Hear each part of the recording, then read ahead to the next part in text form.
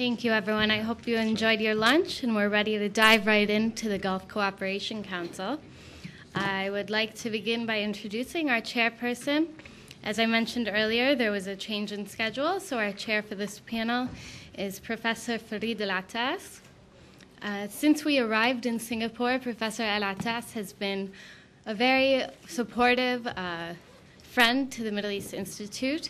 He is the head of the Department of Malay Studies and is a sociologist by training. He's also comes from a rich tradition of academia, and he and his father and their family have made their mark in not just Singapore, but in Southeast Asia. So if I could please hand it over to Alatas, and he will introduce the panelists. Thank you. Okay, thank you, Rana. Uh, good afternoon, everybody. Um, I'm uh, very pleased to uh, have been asked to chair this session. Um, um, panel 7B with the Gulf Cooperation Council. Um, I'm not going to take uh, um, much time. Um, let me just uh, tell you what we're going to do. Um, we will proceed according to the order of the uh, program, um, beginning with uh, Dr. Christian um, Koch, is that right? Mm-hmm. Um, and then um, Dr. John Anthony. Um, you're not Dr. Martin. Not yet. Not yet. okay. Yes. We can always, one can always hope. And then, uh, last but not least, Dr. Malik uh, Dahlan.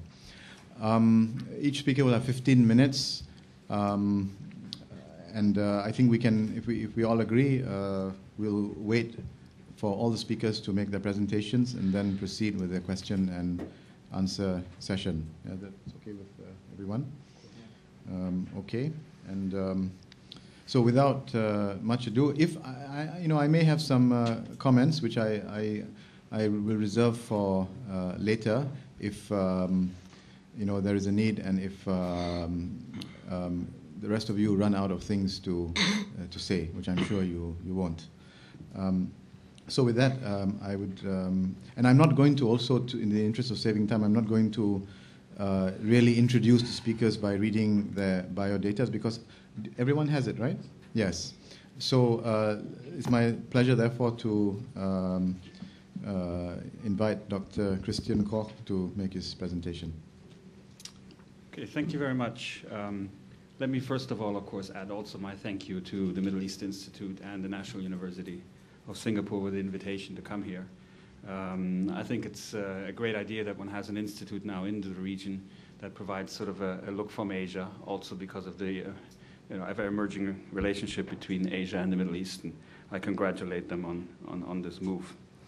Um, what I'll be talking about uh, briefly in the 15 minutes is sort of looking at the changing international relations positions of the GCC states. And this is very much a, a work in progress uh, as I also develop this into a larger book project uh, to really look at the evolving position um, of the GCC states when it comes to their foreign policy and the international relations uh, position. I think it is based on uh, what one has seen lately as, as, a great amount of activism uh, uh, within the GCC uh, about putting forward certain stances. Um, and I want to sort of analyze whether this is really a, a different era that we're looking at now, what the reasons are behind some of the activism that we've seen, uh, and then maybe provide just some food for thought for the uh, what some of the implications. Uh, again, it is very much a, a, work in progress, so if not everything makes complete sense or, or links into one another, I apologize for that, but I'll be looking forward to your comments and criticisms on that as well. Um, well, let me start first of all by simply saying, you know, what are sort of the, the, the actions that we have seen uh, uh, in the past sort of decade, or uh, I would actually say since about 2003 uh, where we really see the Arab Gulf states taking on a more pronounced uh, diplomatic role, uh, trying to uh, mediate, uh, bring about conflict management, uh, certainly not waiting anymore for regional or international events to be forced on them, but trying to enunciate a position, get a little bit ahead out of the game. so I would argue that sort of uh, there is, is, an active period of Gulf diplomacy that one hasn't seen or really previously heard of. Um, and there are numerous instances where we can see this happening. Uh, uh, certainly, uh, when you're talking about the Gulf region itself, we see the development of the GCC. We see greater degrees of regional cooperation taking place.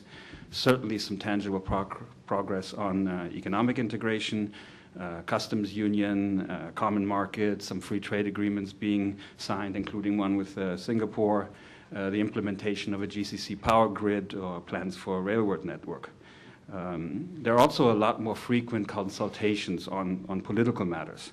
And I think this has led to a number of better coordinated approaches among the, the states. Uh, we saw that Bahrain and Qatar resolved their territorial disputes through the International Court of Justice. Saudi Arabia and Qatar have come closer together and have resolved some of their differences, which were perennial in the 90s. Um, even in the current economic crisis, we see that uh, Abu Dhabi will not necessarily let Dubai completely fail. Uh, they will step in uh, when it becomes you know, an issue of, of, of the federation itself, the UAE. Um, and I think you know we have a lot more different mechanisms uh, in play at the moment, where there's, there's a great degree of interaction among uh, the, the, senior officials. Uh, uh, if you look at the GCC, there are now regular meetings of the ministers of justice, the minister of interior, the ministry of education, et cetera, et cetera, et cetera. And that certainly has, has led to a lot more closer familiarity with one another and enunciations of the various positions. Um, so that's really on the regional front within the GCC. Um, I think we've seen better coordinated approaches on regional issues. We just recently saw the attempt to, to pro provide a, a, solution to the situation in Yemen, uh, which has brought all the GCC states together. We certainly see an evolving common position on uh, situation vis-a-vis -vis Iran. Uh, uh, while although there's always been this instances that there are some diverging views that Oman might be able to, uh, might take a little bit of a different positions towards uh, the Iranians than the Saudis will. I still think that overall what we have seen is a sort of convergence where there, uh, there's generally an agreement of, of, of what uh, the situation in Iran means for the region and how the region should respond. Um, and then we see if we go beyond that, we see a lot more activism on, on the Middle Eastern front. Uh, uh, certainly Saudi Arabia with the uh, Abdullah Peace Initiative, which is now the Middle East Peace Initiative through the Arab League. We see attempts to bring together Iraqi factions, Palestinian factions, uh, uh, involve oneself in situations in Afghanistan. We see Qatar playing a much more pronounced role, most recently, of course, uh, in the case of, of Libya, where it was the, the, the Qatar uh, initiative eventually that gave legitimation to the old NATO-led uh, intervention in, in, in Libya, uh, the Qatar involvement to produce the 2008 Doha Accords on Lebanon. Um, so all these, again, are issues where the Gulf has been, the GCC states have been quite active. Um, and we even see sort of, you know, broader visions of what a future Gulf security system uh, would look like. And here uh, Uh, I specifically refer to uh, uh, uh Saud al-Faisal's, the Saudi foreign minister's speech at the 2004 Manama dialogue, which I think still is one of the best enunciation of what uh, a future Gulf security framework would look like with a unified GCC, as he said, a unified GCC, a prosperous Yemen, a stable Iraq, and a friendly Iran. And then also internationally, I think one can make an argument that the GCC states have come out more into the forefront. There certainly is an effort to sort of diversify set of relations uh, with the uh, European Union countries, uh, with Asian countries. We see uh, credible amounts of uh, exchange of heads of states visits. I think basically almost all of the GCC leaders have in the past five years at one point or another made the trip into Asia to various countries. Uh, we see an, an outreach even going on to countries of Latin America, Africa, uh, looking into various issues there, food security being one specific area of interest when it comes to, to Africa. Um, the UAE has certainly been in the forefront of this, has trying to establish more international coalitions, which it sees for its own benefit. Uh, it was Sheikh Abdullah bin Zayed, the UAE foreign minister, who went on a trip to 14, Lat 14 Latin American countries uh, in order to get uh, the approval of the various uh, members of the international community to get the seat of the International Center for Renewable Energies to be in Abu Dhabi. Uh, and in the end, uh, here, uh, the UAE was successful. uh, and beat out Germany at the end, which nobody really gave them a, a chance at some point. You see more pronounced positions, for example, the EU uh, with the GCC states and the EU, where the uh, GCC states have decided to back out of free trade area negotiations uh, with the EU back in December 2008, saying that they've had enough of the EU intransigence and, and therefore they were not going to continue those negotiations. Uh, um, and that's, I think, is, is, sort of an evidence of the GCC position.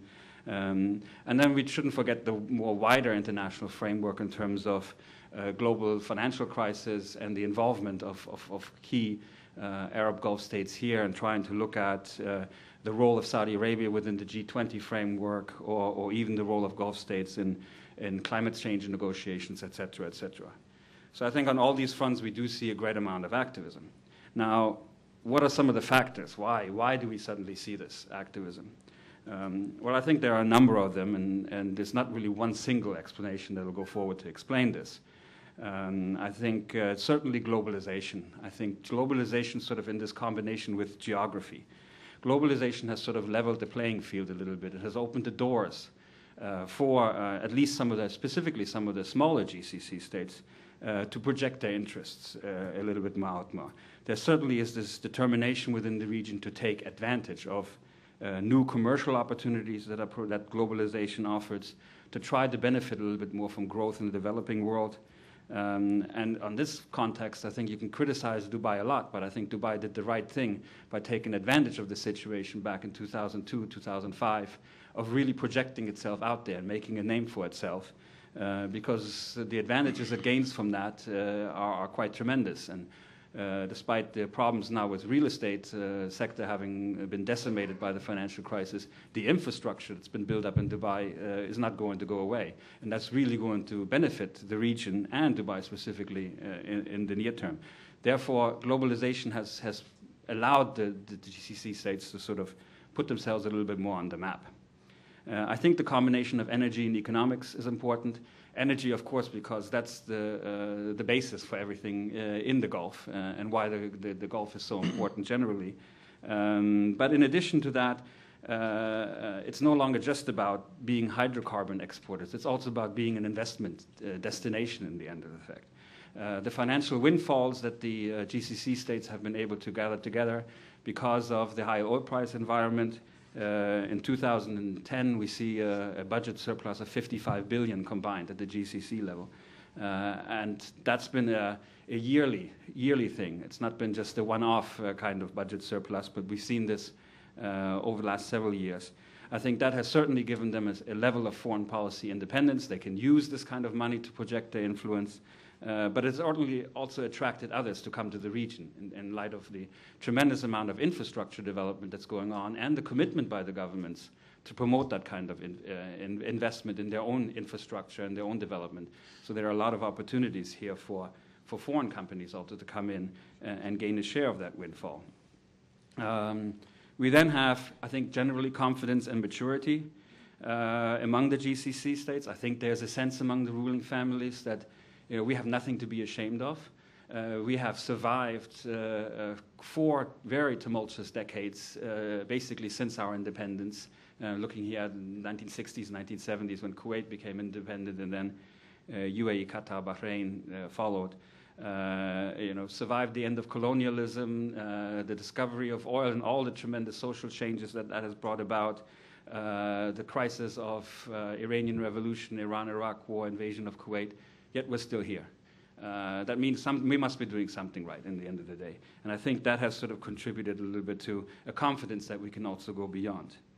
Um, another factor, I think, is uh, specifically a certain disillusionment with policies of the United States and, and, the West in general. And I think here the Iraq invasion certainly serves as a catalyst uh, because that sort of highlighted the divergence of views between the two sides. Uh, I think Juan Cole mentioned already in the last uh, session a little bit this notion when Saud al-Faisal spoke in, in, New York at the Council of Foreign Relations in 2005 about how the, how the Iraq War had simply delivered uh, uh the Iranians, uh, the Iraq towards Iran, and how disappointed they were uh, with U.S. policy in the region. I think this kind of question marks about U.S. policy continues even now in terms of what is the position of the Obama administration on the Arab Spring. Uh, was it right to simply drop in uh, what is considered in Saudi Arabia a traditional ally like Mubarak and drop him like a hot potato? Uh, uh, so there's question marks about this, and again, the need to uh, put forward an independent position. but it's not just the United States. I think it's also the West sometimes in general. I think the global financial crisis is certainly in the Gulf is seen as being uh, uh, the failure of the West and the global economic order. Uh, and therefore, it's not something that was caused by the Gulf states. Um, and two other quick factors. I think uh, the power vacuum in the, in the Middle East certainly contributed also sort of by pushing the Gulf states in the forefront. They had to take position, not necessarily because they wanted to, but you have an Iraq that was in shambles with the occupation. You have an Egypt that continued to be largely isolated or static with the Mubarak regime. Syria still being very suspicious because of its alliance with Iran. So, on all these things, the GCC states are sort of forced to, to, to step in. Um, and then I think there is this slow, also final factor the internationalization of the Gulf. Uh, Europe is paying more attention to the region. Uh, Asia is paying more attention to the region, and this again opens doors for the Gulf states to sort of project what some of their interests might be. Um, okay, now briefly, just to conclude, then there are so where we go from here. What does this really mean? Um, is this now this activism that we see? Is this a move towards a more coherent GCC policy? Uh, is this a new era we're talking about? Uh, what does it mean for relations with traditional powers like the, U- the U.S.? Uh, and what might the current environment sort of uh, impact on that? Uh, well, I'm very skeptical that this is, I mean, again, this is sort of just preliminary thinking on it. Um, I think largely it's not necessarily a new era. Uh, I don't see a coherent GCC policy from coming about. Uh, I think the GCC as, a, as a, an organization basically remains a shell organization. I think it's still basically national decisions. Uh, it's itself, it's not interstate. It's uh, not suprastate. It's certainly still interstate. Uh, uh, I still think there's some lingering distrust among member states. Most recently, we saw the UAE Oman's uh, and the scandal over that. I think in large amounts, it's still seen as a zero sum game for the GCC states when conducting their foreign policy. Um, I think globalization has sort of provided a space for some of the smaller countries to sort of carve out a role for themselves, to step out of the shadow of the, of, of the Saudi Arabia. And I think you see this mostly in the cases of the UAE and Qatar. Uh, UAE certainly uh, uh, uh, continuing with their policy of economics first and nothing on politics. Uh, we want to carve out economic, commercial relations uh, with the rest of the world. Um, I think Qatar simply because they don't trust anybody. Uh, so they will just go and, and, try to get everybody on the table. Uh, but again, this gives them an opportunity to step out of the Saudi Arabian uh, shadow. Um, I still think there are a lot of limitations in terms of the GCC or the, or the structures, the bureaucratic structures in place. Uh, still top down, personalized decision making. Uh, you're still dealing with small states that have no critical, uh, credible military power. Uh, uh, the sticks are limited, but and, and the carrots that the GCC states can offer can only go so far. Uh, and again, on, even on GCC integration, I think we are talking about a mixed track record. Uh, the economic integration has proceeded, but we just had the announcement that the customs union will actually not be implemented now till 2015. Uh, we still don't have any monetary union, the UAE and Oman having opted out. Uh, certainly don't have any common foreign and security policy. Uh, you know, in the in the Bahrain intervention, we talk a lot about uh, Peninsula Shield. I'm not really sure what Peninsula Shield is anymore. Uh, I thought it was disbanded a while ago, and, and uh, does it still exist? I'm I'm not so sure. Uh, um, so I think it's very premature to talk about a GCC uh, foreign policy. With regard to the U.S., yes, certainly there is this cost-benefit analysis going on in the region. Uh, uh, but you know, we saw last night in the speech of President Obama sort of an, uh, a little bit of a shift almost. That the U.S. is going to position itself more with some of the people power in the region. and then what does that mean? The, UA, the U.S. no longer has the status quo power. Now that's not going to be a shift that's going to be sudden or tomorrow. Uh, but again, uh, you know, are the GCC because here the U.S. is still central in terms of the defense of the, of, of the GCC states. They're certainly not going to cut their traditional ties to the U.S. Uh, and, and, and, move on to sort of untested either regional uh, security arrangements or rely on other powers like Europe or Asia, which I don't think, simply think have the capabilities or the willingness to get involved in assuring uh, uh Gulf security. Uh, so, you know, okay, there's an attempt at diversification, but basic parameters of closeness to the U.S. simply re remain in, in, in place. Um, and then finally, as far as uh, the implications of, of, the political changes in the region, uh, well, certainly some of that is going to have an impact also on foreign policy. If you see different governments coming into place now in the Middle East, they're going to take different foreign policy positions, and we already see that, as has been discussed in this conference in the case of, of, of, of Egypt. Uh, so we may be entering an environment where, uh, in the past, the GCC states have been forced outward to take positions, but now with somebody like Egypt coming back onto the overall uh, diplomatic game, that Egypt regains that position, and the, the GCC states will again, once again uh, take a step back, which is their preferred method, I think, in their all, and let others sort of get out in the forefront, not necessarily uh, them.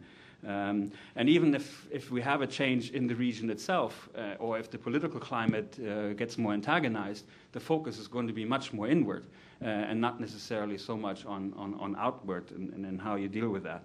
Uh, so um, I do think that we are looking at more or less maybe just a passing phase rather than really a shift uh, overall in what, uh, as far as the GCC is concerned. And then I look forward to your questions and hopefully criticisms as well. Thank you very much. Thank you very much. Uh, thank you. Um, we, we, at the Middle East Institute, um, in the past there had been some discussions on um, comparisons and um, between various models uh, and uh, the extent to which uh, experiences in Asia, like ASEAN or APEC, um, are relevant to um, the Middle East. Um, so uh, it would be interesting to discuss that. Perhaps there might be some issues pertaining to that uh, that will be raised in the discussion. Um, I uh, now would like to invite Dr. John Duke Anthony from Georgetown University. Thank you, Mr. Chairman. Um, we've all been asked to keep our remarks to 15 minutes, and so as we're talking about a six-state uh, region, versus some of the previous speakers focusing on one country, Iraq, or one country, Iran. Uh, this will mean something like uh, two and a quarter uh, seconds uh, per uh, minutes, excuse me, uh, per country and the GCC as an organization. Inevitably, this will lead to a degree of superficiality, but if something's worth doing, um, it's worth doing superficially. So here we go. Uh, with regard to the uh, concepts, uh, I don't uh, disagree with anything that my colleague uh, Christian mentioned. If you discern a, a divergence here, please uh, come at us in the Q&A there. but I would come at it a bit differently, descriptively and analytically, in terms of what is the GCC all about and what is it not. because there's a, a, fair amount of misinformation or misstereotyping um, in, this, in this regard. In terms of the categories of its interest, because the focus has been on changing interest and what are the implications, but not all interests have changed, many of them, more of them are constant uh, than have changed. I would rank them in the following six categories, almost in this descending order of priority. The overarching one is a set of strategic interest, and the shorthand for this would be uh, the goals of achieving and maintaining, preserving, protecting, expanding uh, security and stability.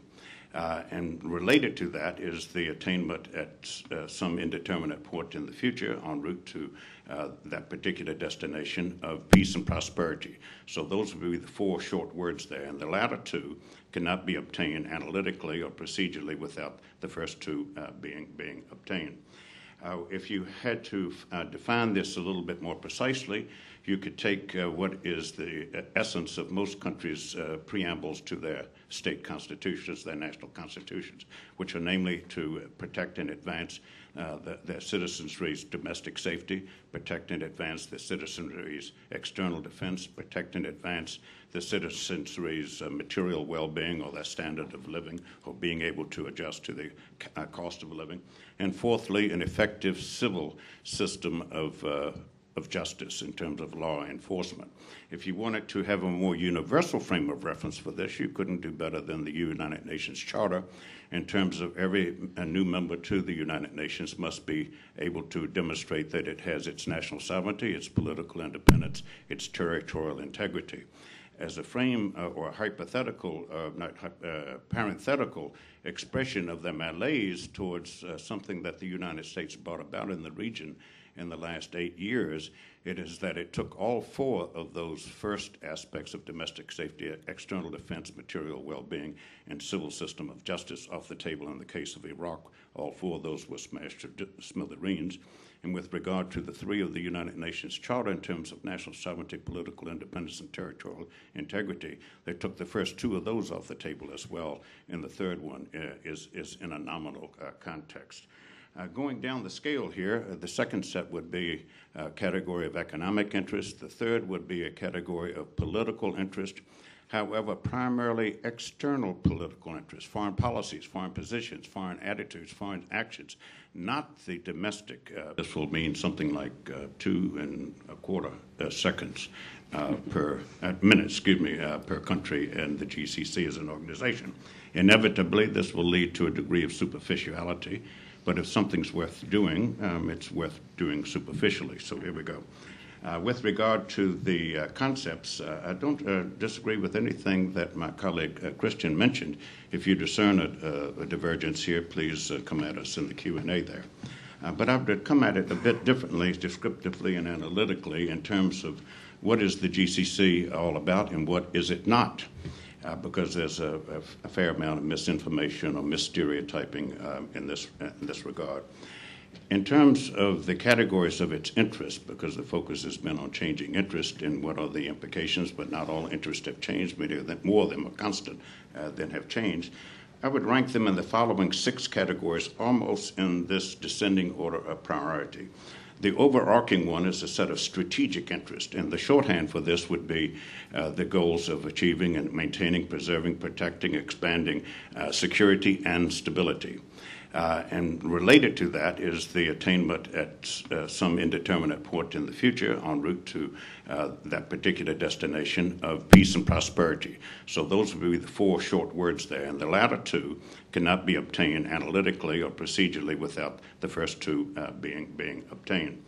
Uh, if you had to uh, define this a little bit more precisely, you could take uh, what is the essence of most countries' uh, preambles to their state constitutions, their national constitutions, which are namely to protect and advance uh, the, their citizenry's domestic safety, protect and advance the citizenry's external defense, protect and advance the citizenry's uh, material well being or their standard of living or being able to adjust to the uh, cost of living. And fourthly, an effective civil system of uh, of justice in terms of law enforcement. If you wanted to have a more universal frame of reference for this, you couldn't do better than the United Nations Charter in terms of every new member to the United Nations must be able to demonstrate that it has its national sovereignty, its political independence, its territorial integrity as a frame uh, or a hypothetical, uh, not uh, parenthetical expression of their malaise towards uh, something that the United States brought about in the region in the last eight years, it is that it took all four of those first aspects of domestic safety, external defense, material well being, and civil system of justice off the table in the case of Iraq. All four of those were smashed to smithereens. And with regard to the three of the United Nations Charter in terms of national sovereignty, political independence, and territorial integrity, they took the first two of those off the table as well. And the third one uh, is, is in a nominal uh, context. Uh, going down the scale here, uh, the second set would be a category of economic interest. The third would be a category of political interest. However, primarily external political interests, foreign policies, foreign positions, foreign attitudes, foreign actions, not the domestic uh, uh, political interference or intrusion in one another's affairs or other countries' intrusions into their affairs. Uh, thirdly, uh, fourthly, uh, would be a set of commercial interests. These have now, for the last quarter of a century, been separated out from the economic interests. The economic interests externally uh, certainly include the exports of their finite depletable resources of oil and gas to international uh, markets, and the funds therefrom, the revenues therefrom, uh, funding uh, the government's uh, existence and operations. With regard to this, we'll come back greater in detail in the Q&A perhaps, because this one has italics around it, neon lights around it, it's in capital letters, this non-interference in domestic affairs of other countries there. It was first hammered out on the anvil of the Algiers Accord of March 6, 1976, between Iraq and Iran, and the other GCC countries yet to become GCC countries were present in the form of, uh, of representatives. It was hammered out again in UN Resolution 598 of July the 15th, 1987, to bring about the ceasefire in the Iran-Iraq War, especially Article 6, which uh, call for the establishment of a tribunal to assess compensation damages as to who really started this particular war. There is a pan GCC belief and consensus that had uh, Iran not violated the Algiers Accord 111 different times, all of these instances reported to the UN Security Council Secretariat in Iraq, not violating it once. There are no Iranian uh, cases of, of, Iraqi violations of it in the UN Security uh, uh, Council's Secretariat, rather, uh, that there wouldn't have been the Iran uh, Iraq war. And this was furthered when Kuwait was liberated in terms of the March 6, 1991 gathering in Damascus of all GCC six foreign ministers, plus those of Egypt and um, Syria, in which this was the first principle of the four that were enunciated there. So nothing is more uh, bedrock center in terms of a strategic political policy and mindset and orientation amongst the six than that. The fourth category uh, would be a set of commercial interest. These are separated from the economic ones. These have to do with trade, investment, technology, cooperation, the uh, establishment of joint commercial ventures, uh, the uh, currency uh, stability in terms of continued maintenance of the pegging of the international financial transactions to the American dollar. The fifth category, which has been creeping up in the last decade, has been in the realm of defense cooperation.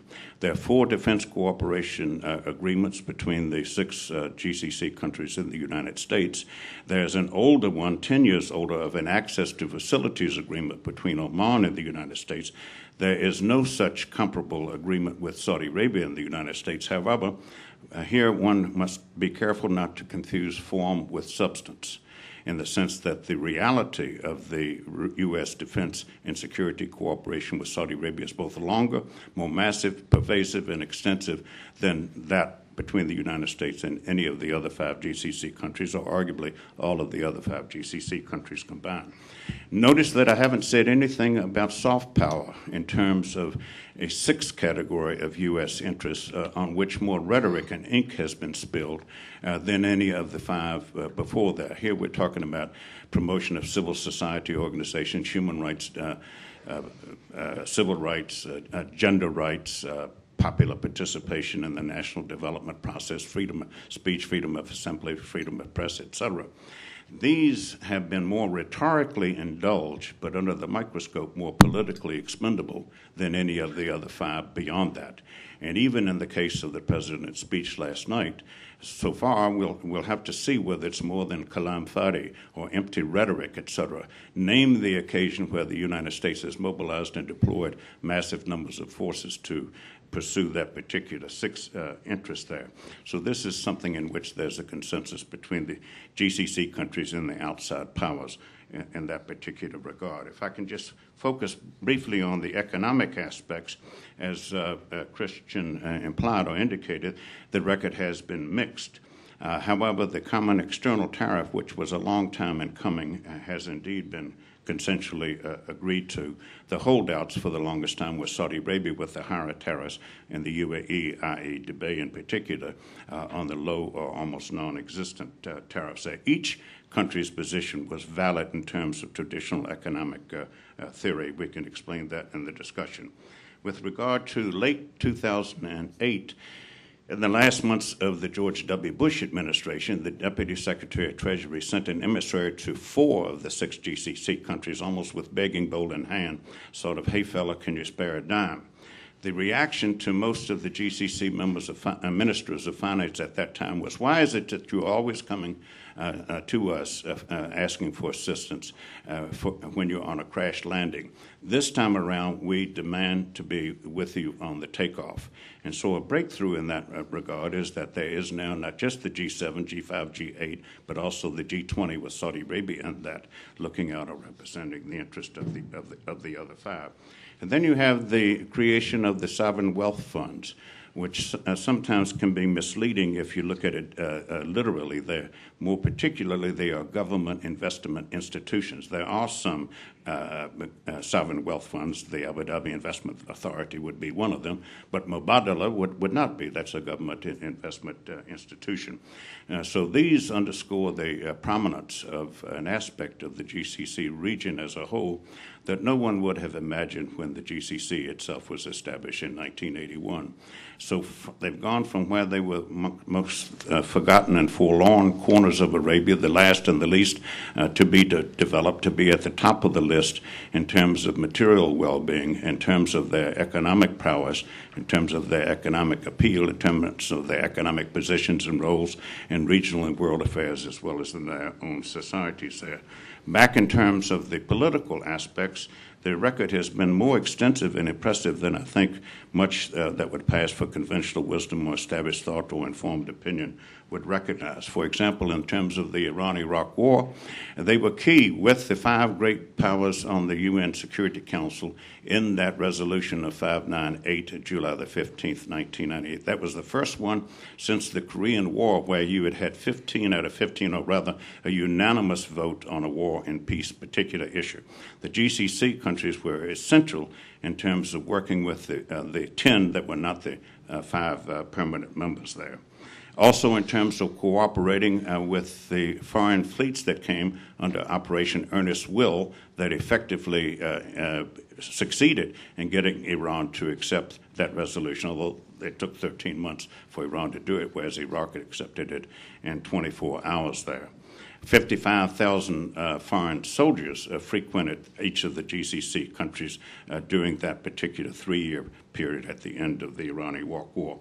And then fast forward to the Kuwait crisis of 1991, there 550,000 uh, foreign soldiers were uh, accommodated in the GCC countries, and that led to the UN Charter's uh, principles certainly being enforced uh, uh, on a rare occasion in terms of Kuwait's national sovereignty, political independence, territorial integrity, and safety of the Kuwaiti people being restored by that, but only in a cooperative arrangements with the six GCC countries, which use their influence in the League of Arab States to pass two path breaking resolutions. One on August the 3rd, the day after the resolution, 12 to 9 with the votes, the six GCC countries plus six others that they persuaded to stand with them uh, to condemn what Iraq had done to Kuwait. And then one week later, August the 10th, 1990, the same breakdown of the vote, 12 to 9, calling for all Arab armies to mobilize and deploy to Saudi Arabia to prevent the Iraqi invasion of Kuwait from extending. Those two acts broke the strategic geopolitical uh, arrows in Saddam Hussein's uh, quiver, who up until that point had said, look, uh, the Westerners are not coming because they're in love with your dark eyes, etc. The, the, Crusaders are coming again, and tried to uh, uh, have a unanimity of resistance to that. So the GCC countries were, were essential in that. Also, in terms of the Taif Accord of 1988 between Kuwait and Algeria and Saudi Arabia, in revising, re engineering the Lebanese political structure there, which actually increased the role, the position, the influence, and the power and the preeminence of the Shia aspects in Lebanon. Uh, a, a particular story in that that I think has largely been lost.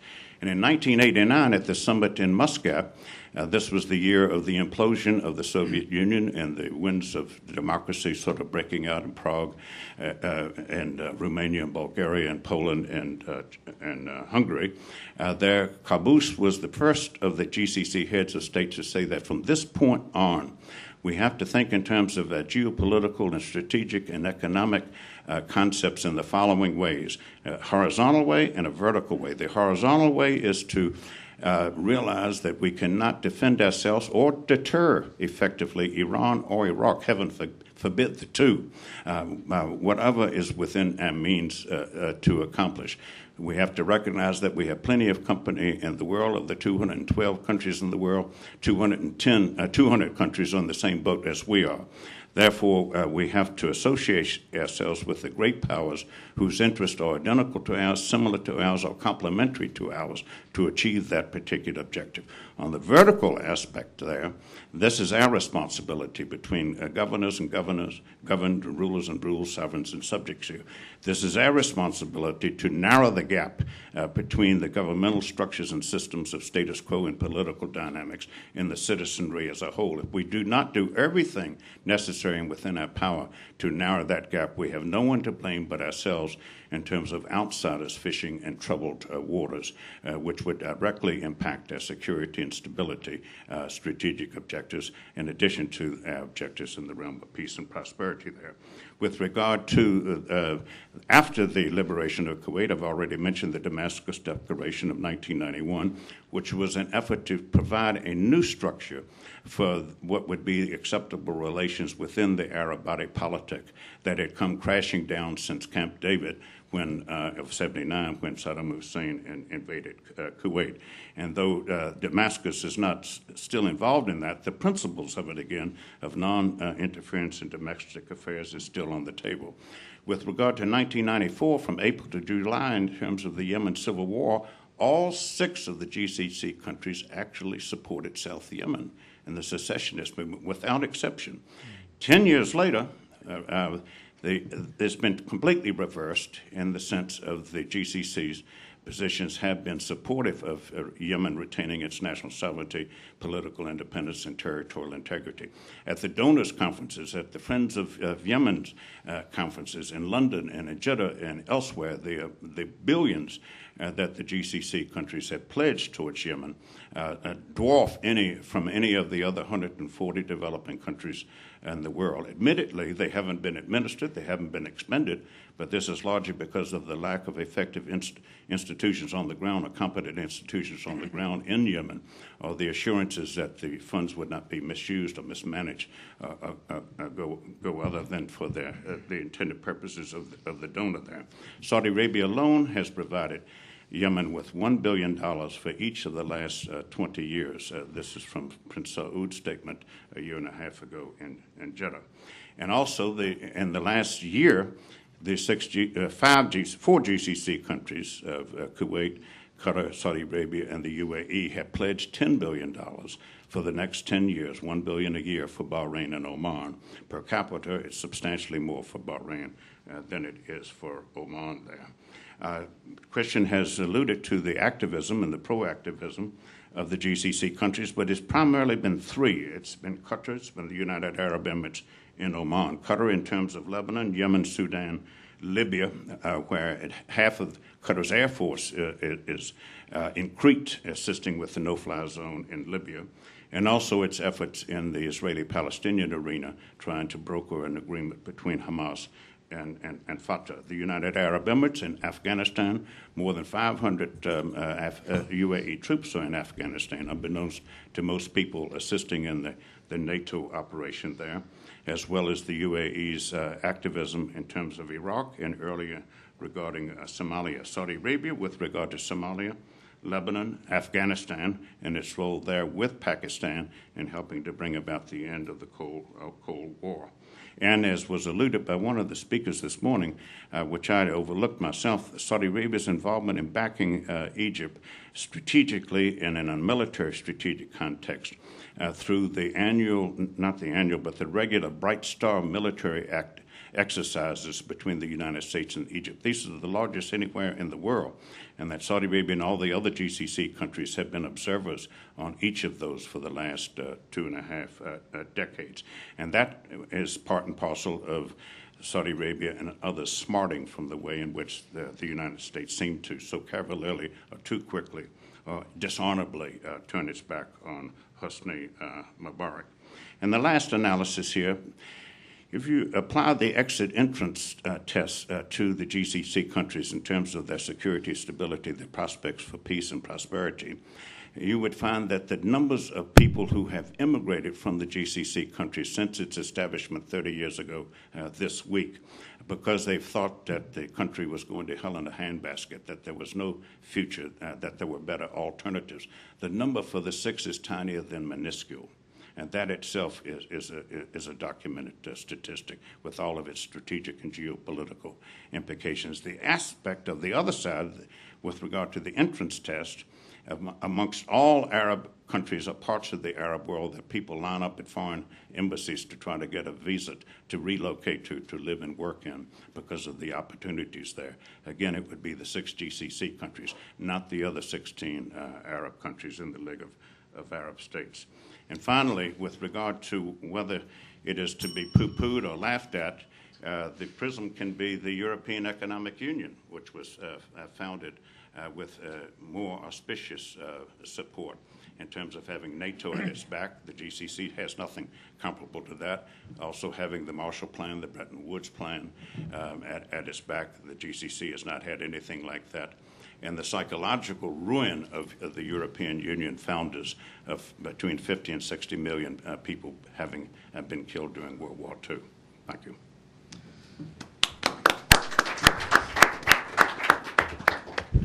Thank you. Um, I, I, must apologize. I'm, I'm a miserable failure in getting people to stick to the time. Um, Eight, 17 minutes. right.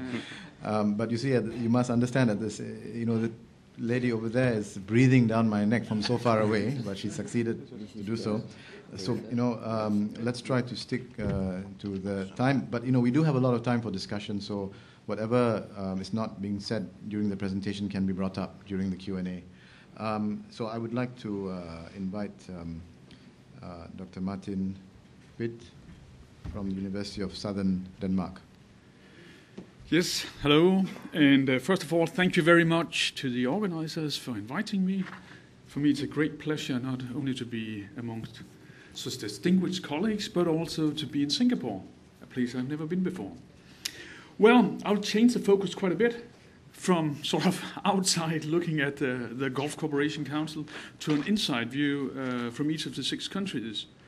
What I'm going to do is uh, to look at the current visions, the current development plans, to see actually what aims, especially in an economic sense, uh, they have.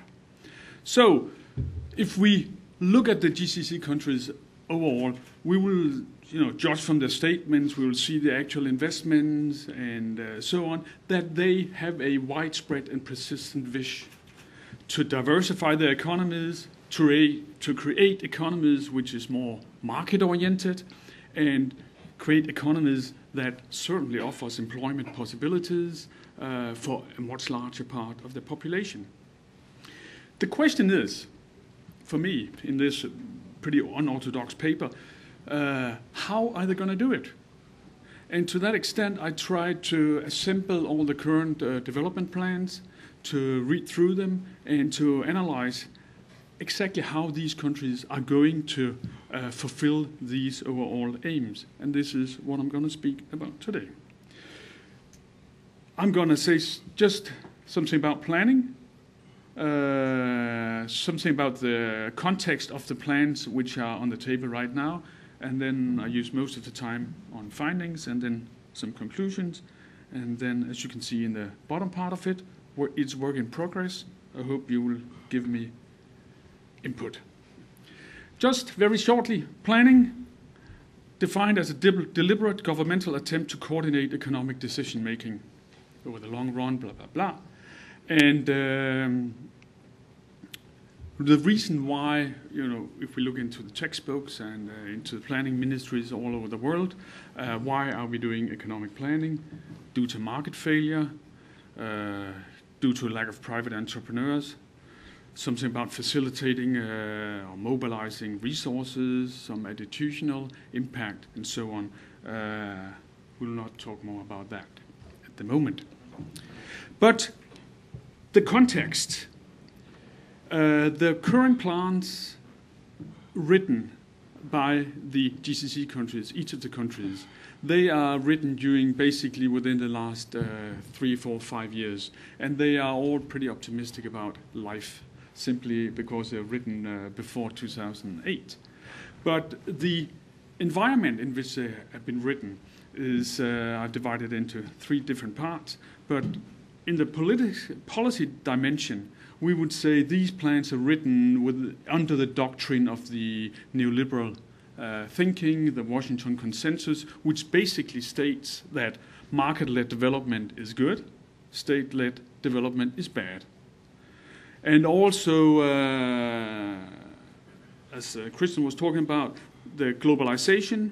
Uh, in order to reap the benefits of globalization, you need to do three things privatization, deregulation, decentralization as one.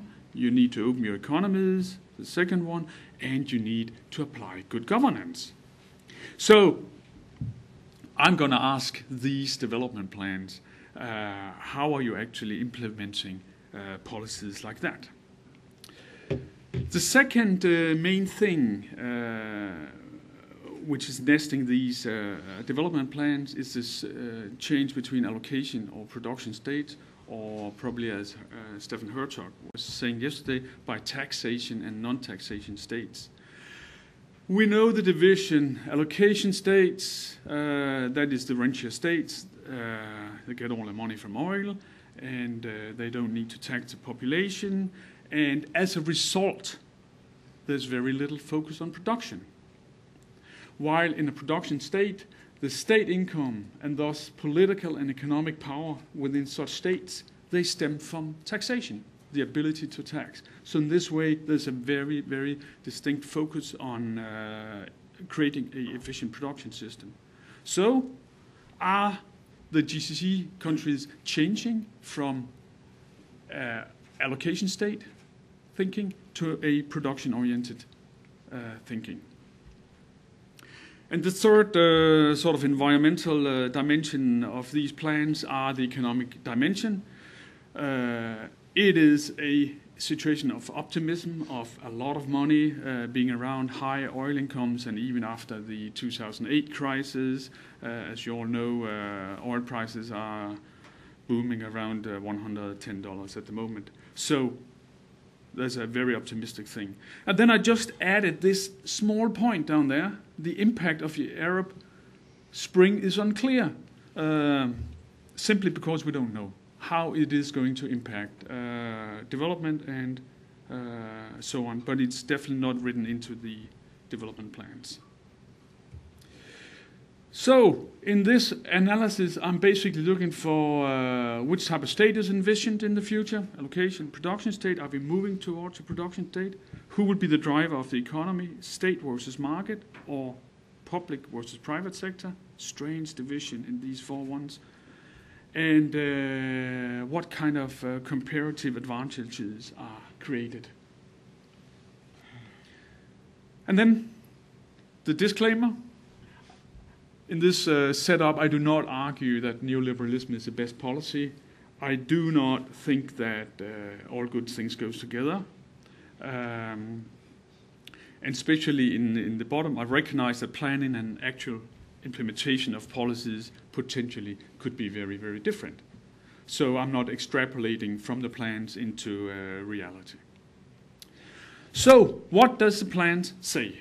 And I have one slide for each country, thereby doing my two minutes of each country. Uh, Bahrain, economic planning is a very, very recent phenomenon. I talked to uh, the head of planning down there. He said, well, it's done within the last five years, done by external uh, agents, and uh, they do have the Vision 2030, which expresses a strong drive to diversify, to let the private sector become the driver of the economy. Job creation is the key aim. Bahraini workers are not currently the preferred choice of labor. They state that bluntly. Uh, they want to shift from low skills to high skills jobs and they want to introduce a meritocracy. That's a difficult one. Meritocracy uh, in the long run. So, Vision 2030 is a frontal attack uh, against the rentier thinking. It does have a neoclassical uh, economics flavor to it, and uh, the MEED journalist would say it's the boldest of the strategic, strategic plans published in the region at the moment. Kuwait, uh, they have a current long-term plan, plan, the Vision 2035, uh, which is just recently basically published. Uh, they worked on it in 2009, it is published in, in 2010, and um, uh, that is a nesting a number of five-year plans, which I've been doing for quite a number of years. Uh, the current plan is the first one actually since 1986. Uh, it's an investment plan, a lot of investment. Private sector seems to be the ones uh, spending half of it, uh, and half of it is public, and there's a lot of crisis package in it. and the vision, the aim is to, they all say, Kuwait to make it a financial and trade center, attractive to investors, with the private sector leads the economy. Well, and the Blair Plan, uh, Tony Blair Associates was invited to write a plan, and they made a 430 some pages uh, development plan for Kuwait, uh, which says all the right things, and but it's unclear to us and uh, whether. Uh, I, I, actually spoke uh, just a, a, month ago with the head of planning in, in Kuwait, and he said, "Well, planning." This plan is our official policy, but no one knows. So the Blair plans should be implemented in one or another way. They have a bad planning story, uh, lack of consensus. the current situation where they don't have a parliament is a good testimony to that. Uh, they do emphasize private sector, and uh, they do emphasize a very, very state-led environment. Have to speed up just a bit. Oman, they have been planning for 76 as I'm saying here. They have a current vision 2020. They are very keen on economic diversification. They actually put numbers on it.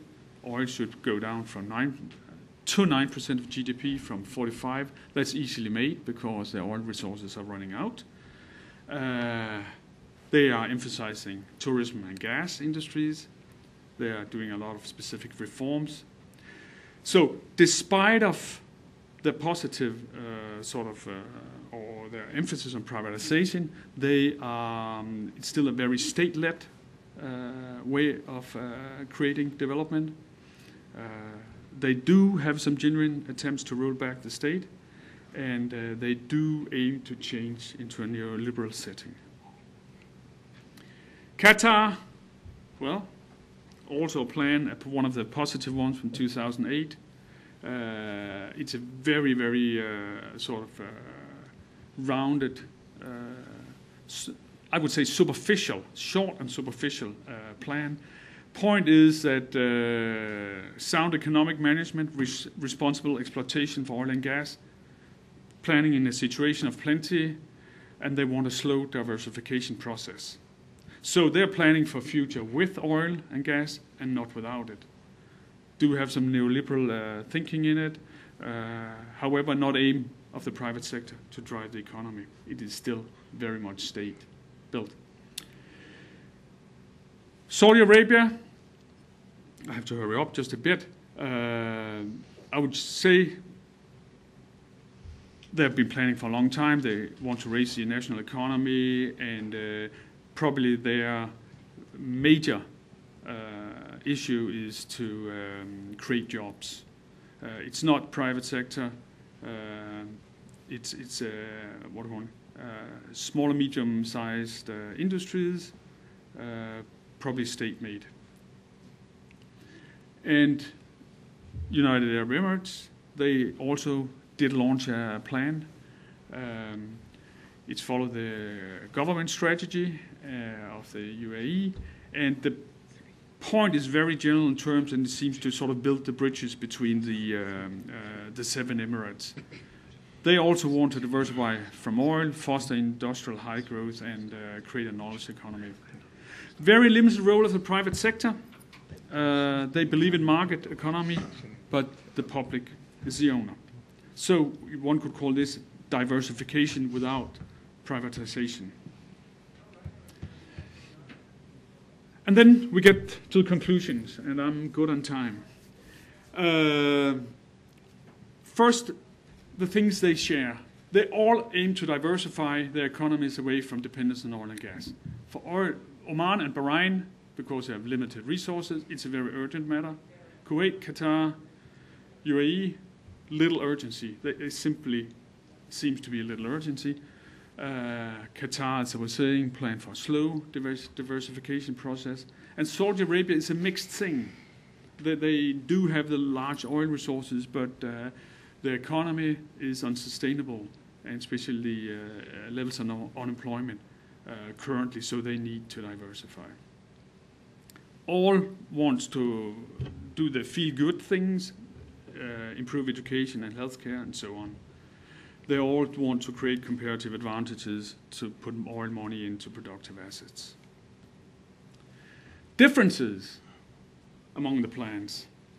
Uh, should the private sector be the driver of the economy? Very different. Bahrain and Oman say yes, it should be. Kuwait, Saudi Arabia, Qatar uh, simply uh, signals a continuation of the state led development model. And UAE explicitly have no aims of increasing the private sector. Uh, the private sector is not mentioned, I think, more than once or twice in the entire plan. So, the overall conclusion would be that the state remains the driver of the economy, and the private sector operates in niches in the market where the state does not operate. And as such, it's not a, uh, possible to identify a distinction to a neoliberal uh, private sector oriented policy. It can be argued that the current level of plan signals a shift towards a more production oriented development model, however. Uh, the countries are investing money in real productive assets in order to secure future income and employ their rapidly increasing workforce. Uh, and despite or except for Bahrain and Oman, it is a state driven development. Uh, so it does not imply private sector enlargement, but production is going to take uh, on or continue to take on in publicly owned firms what I would like to call the state initiated uh, firms. So, are the Gulf states aiming to, uh, to move toward a production oriented development model? You could say a careful yes from this study.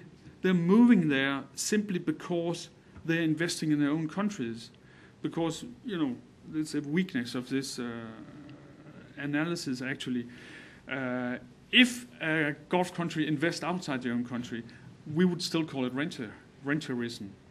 But if they invest inside, it will be a, in a production oriented uh, way. And in, uh, as such, the current emphasis on um, crisis management and uh, building local resources all aims at um, creating more production.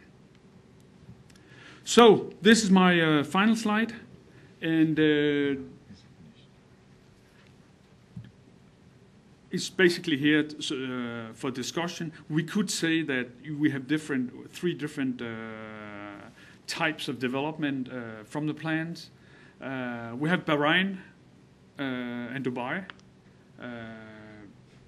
which are liberal, market oriented economies. We have Saudi Arabia, Qatar, Oman, and UAE, even though Oman tried to say something else, uh, which exemplify a continuation of rentierism.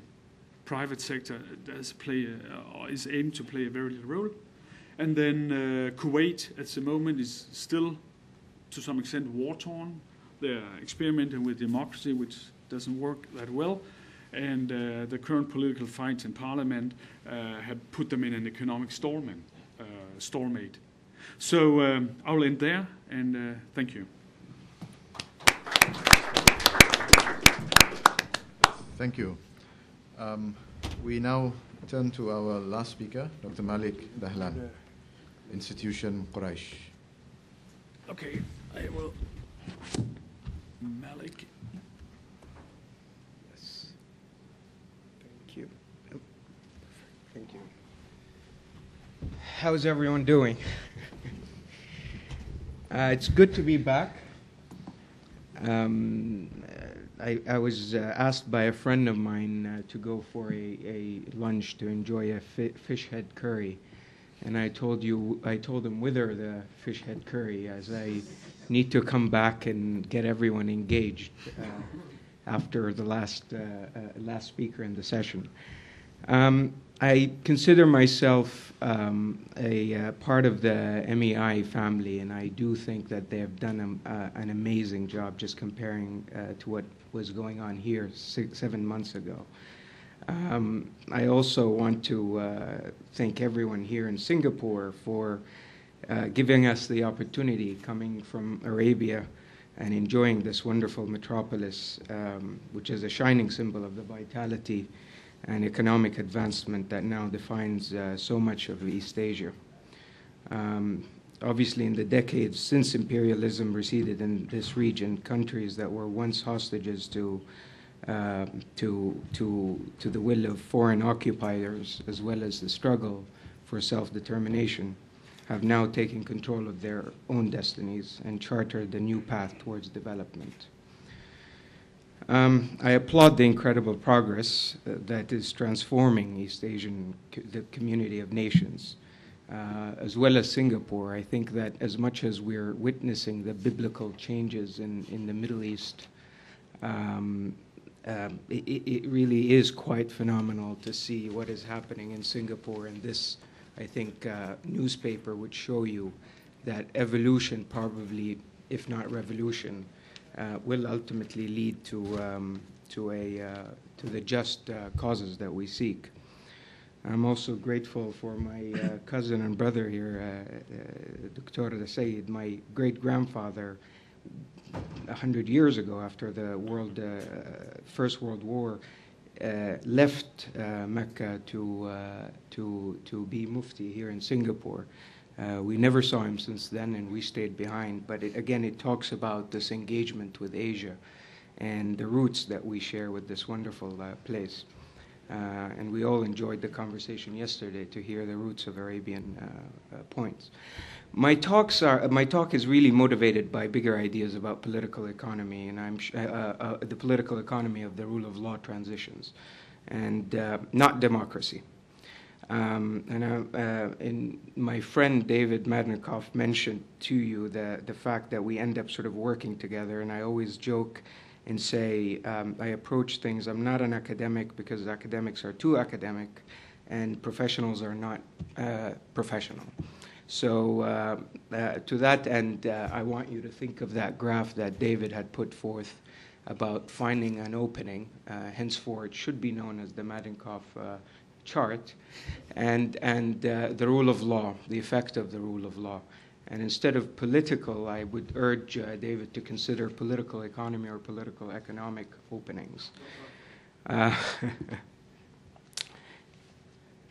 to that end, I will also, um, I, I, cannot distance myself from what has uh, been happening in the region, and certainly the time I had spent here in Singapore uh, where I had the opportunity to discuss precisely the, the, the point that uh, uh, uh my cousin, the Sayyid here, was talking about in terms of the relationship with Asia and influence of Asian cooperation.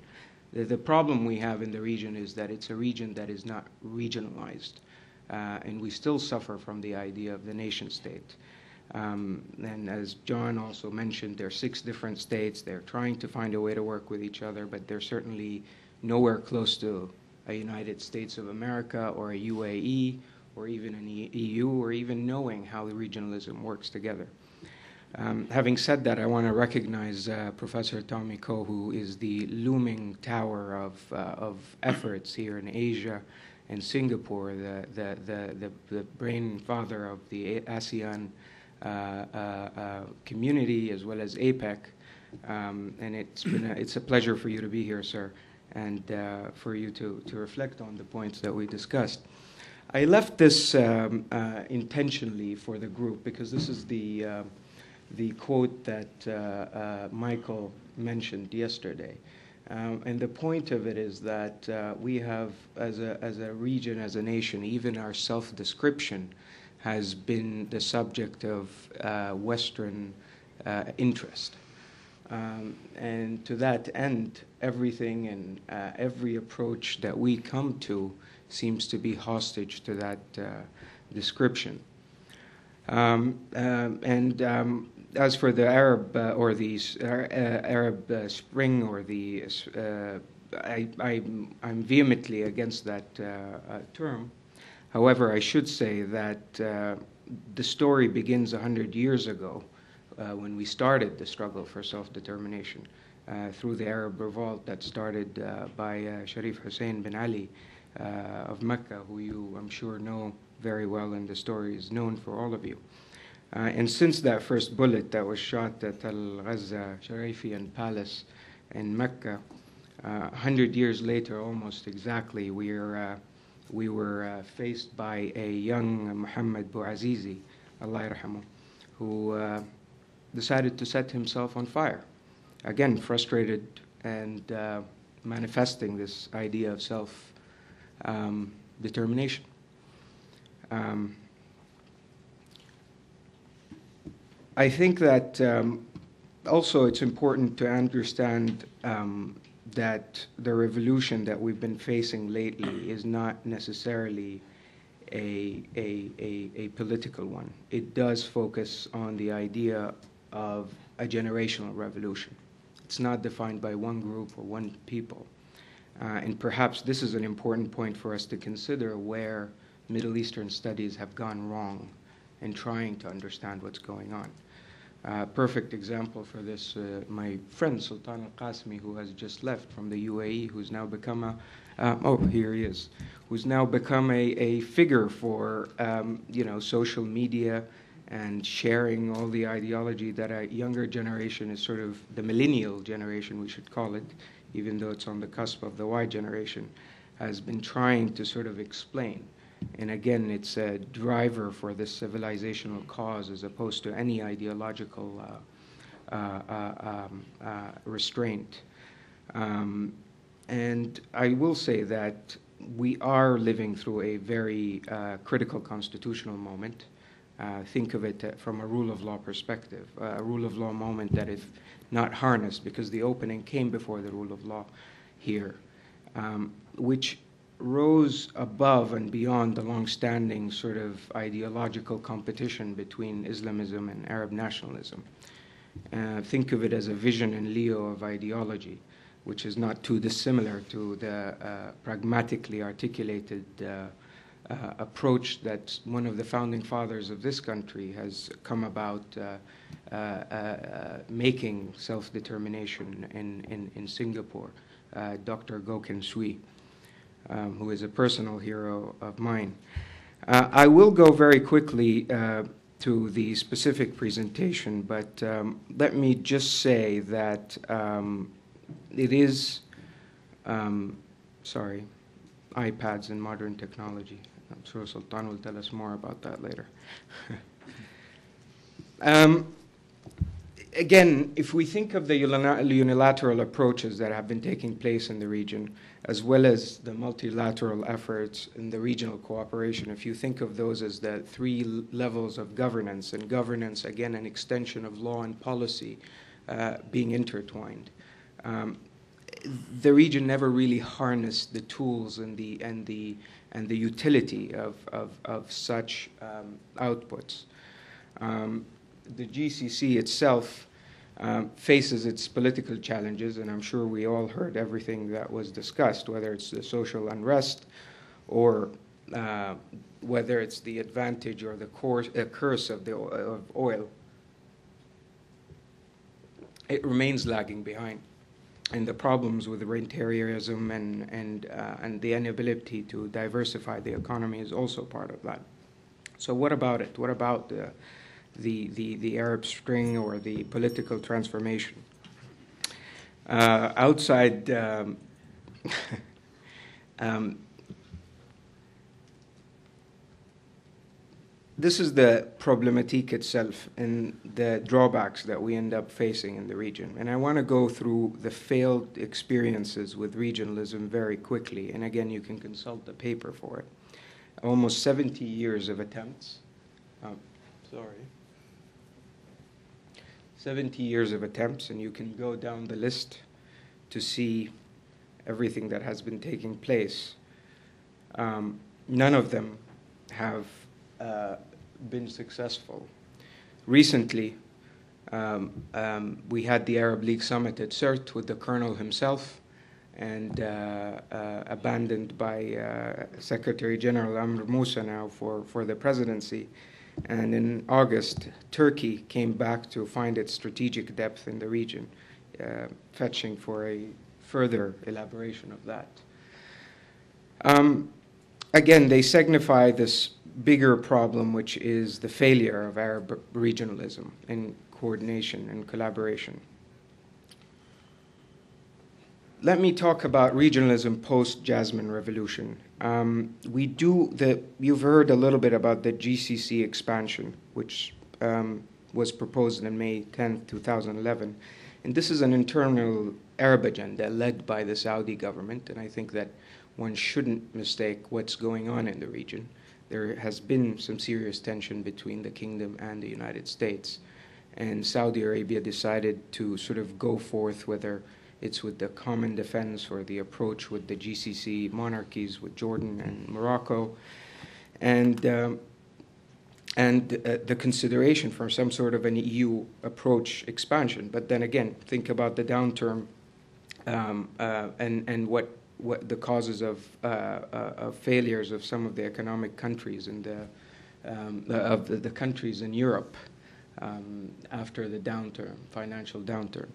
Now, what's really interesting is yesterday's announcement of uh, President Obama's uh, as though we need a TIPIer region, um, which is in his fourth point about uh, a comprehensive trade and investment partnership initiative in the Middle East and North Africa, an evolution of MEPI, but something different. Um, we've been working, we work closely with a firm in Washington called Covington and Burling, and that firm has the legacy of Dean Acheson, uh, uh, the former U.S. Secretary of State uh, in the United States during the uh, World War II, and precisely the man who devi- designed the Leaseland and the Marshall Plan and NATO and the U- new UN.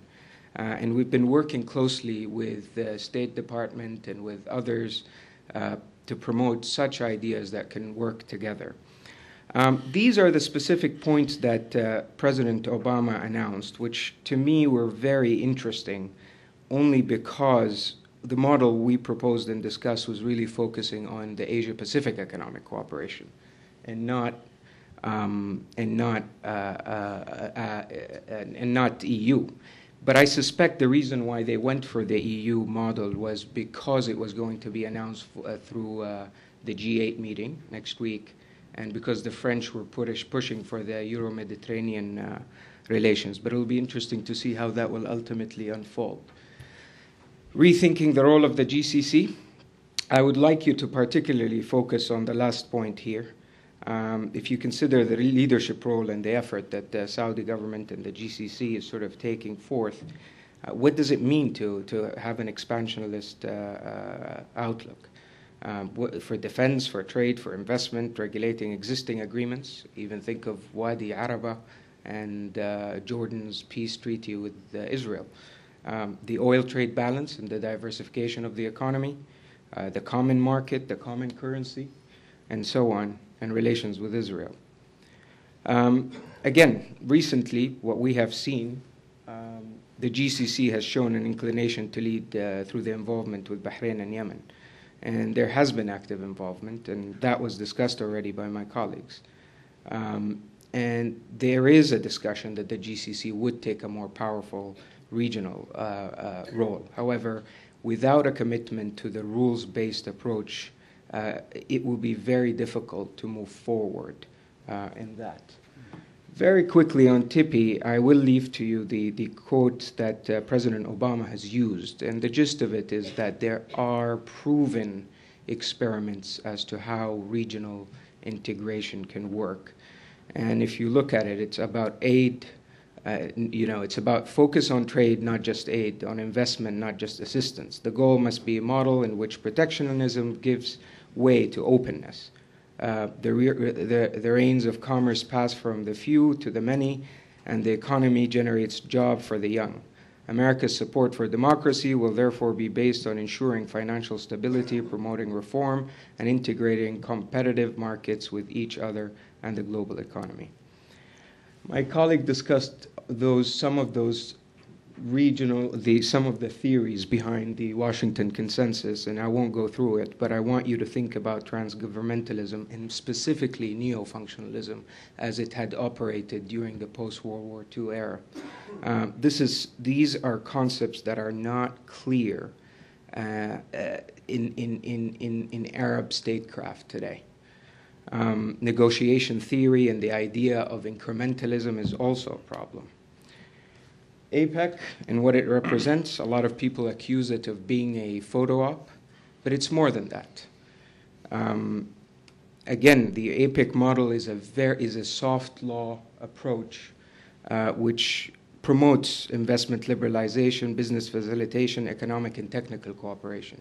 Think of it from that perspective. 21 member countries have a card to get around uh, without visas to all the countries. We still have problems in the region about that.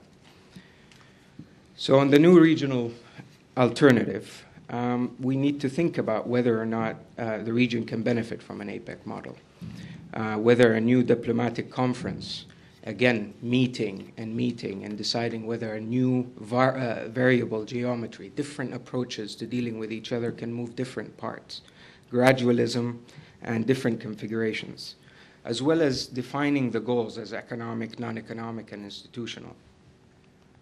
I would also say these are the attributes and pros of APEC, and I encourage you to look at it from the soft law perspective. Again, you look at the ASEAN exper- experience and the different, the idea of variable geometry, how they all interact together. Compare that with what's happening in the Middle East. You look at the OIC is ineffective, the Arab League is ineffective, the GCC is reactive. The WTO was supposed to be the holy grail, but as John ta- mentioned yesterday, 42 laws in Saudi Arabia, none are being apply- applied. Next year will be the trade policy review for Saudi Arabia with 360 reservations on its accession proposal, no one saying anything, and we have these problems. Um, again, it, it is a very technical and long um, exper- uh, uh, uh, exercise an article, and I encourage you to read it because I do want you to tell me what you think, and because I pe- spend a lot of time. But let me give you a very interesting point here. If you look at the fifth, I think one, two, three, four, five, six, the sixth point, look at the ASEAN principle. This is an Arab principle that has been adopted in ASEAN and APEC. The idea of mushawara and muwafaqat, the idea of consultation and finding consensus. This is, a, this is a principle that is applied now in Asia, which was, in a way, an Islamic Arab export, which we don't seem to be able to capture even in our, in our own understanding of a wider context. There are criticisms, and I'm not going to say that there aren't. I put the EU model here just to tell you that I don't think it will work, but again, let's see what the G8 will come out with. I also pose these bigger questions about um, the Gulf region and engaging in this, uh, whether or not the Gulf should engage with this initiative that's coming from the US, or would it end up being a separate exercise that's purely internal and Gulf oriented, or will it work with TIPI more uh, closely? Um, we do have to mention as well the interdependence between the Asia Pacific economics economies at different levels and the blocks that have been formed. And I'm sure we can hear from Professor Koh and others the fantastic experiences that came out of it. Singapore, for example, signed its free trade agreement with the U.S. through engagement with, um, with uh, uh, uh, uh, through its engagement at the uh, APEC. Finally, is an expansion in the GCC enough? And what does it mean? Is the APEC model enough for TIPI? Is it a combination of both? Is it important for us to view law and the rule of law from procedure and the manifestation of procedure before the substance, i.e., we shouldn't look at the final state before understanding how we can get there? the idea of depoliticizing the whole business of the Arab League, which is now again a gesture of good faith, instead of having a Gulf representative give it to Egypt, which can't govern itself today, just uh, out of good faith and failing policies for the last 60 years. Again, the goals, structure and sequentialism. The fundamental predictions, and this is my last slide, I promise, say it. Actually, it's not, but actually, I'll move to the last slide. Um,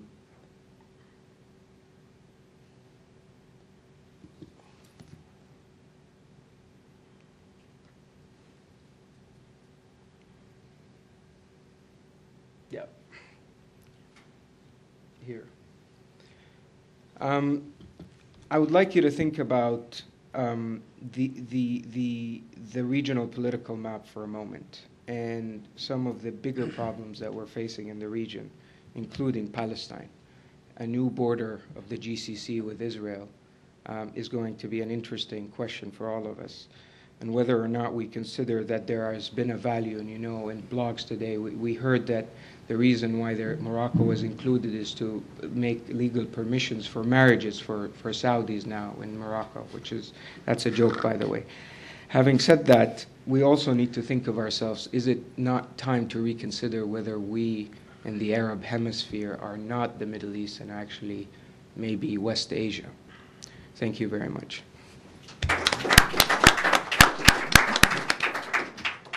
Thank you.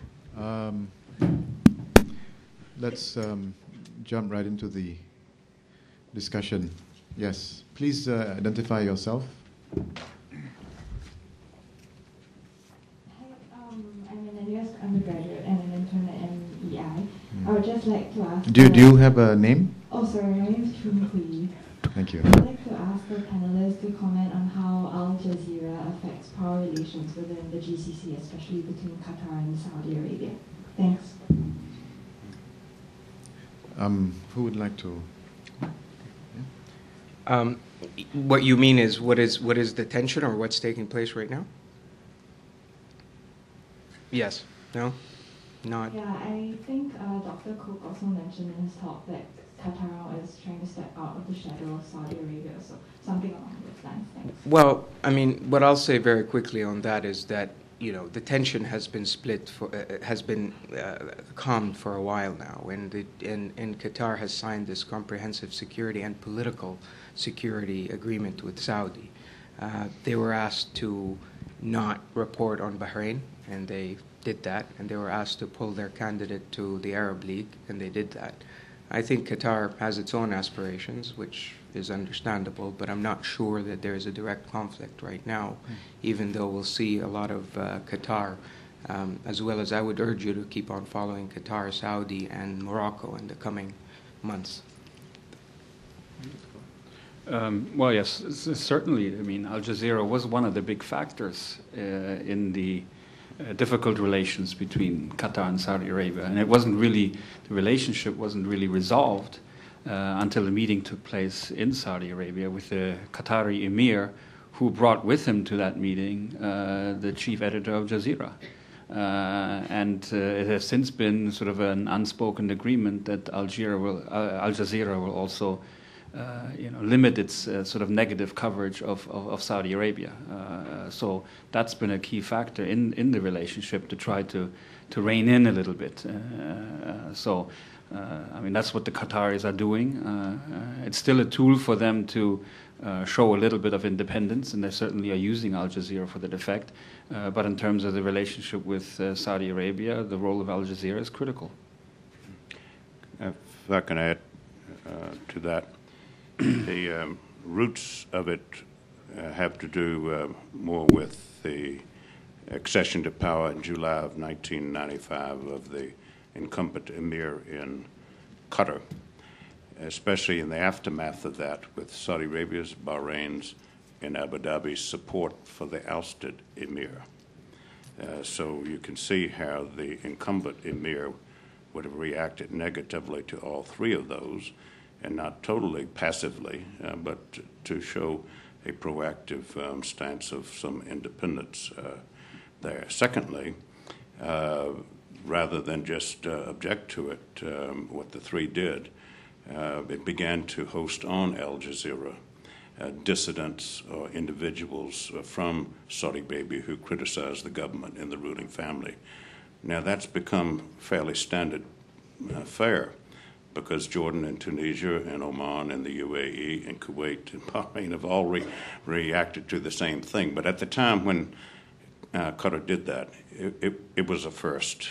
It, it, broke an unspoken code of civility, uh, of going after people personally by name. Yes, floor is open. Please. Uh, David Mednicoff, uh, I guess, too political a friend of uh, Malik Dahlan. Um, I, I wanted to ask about uh, what the possible expansion of the GCC means for the Arab League, I mean, or more generally, and, and maybe, maybe I missed the beginning. Um, does, uh, do, do any of you see, see the possibility that the GCC could um, be stronger and also the Arab League play more of a useful role, or to sort of uh, at odds if the GCC sort of expands and gets more significant than the Arab League's lack of relevance becomes even think? Yeah, I'll have a whack at that. When the GCC was founded, there was some considerable bit bitterness by the members of the League of Arab States, although all GCC countries themselves were members of the League of Arab States. The bitterness was rooted in several phenomena. One is that these six countries that have been the last and the least to develop have been the most forlorn and forgotten corners of Arabia, had passed the others on the inside rail uh, in terms of where they had been ridiculed and dismissed and derided for decades. Here they were at the tip of the spear, showing that a six state sub regional organization could indeed come into existence and do some interesting things that others had not done.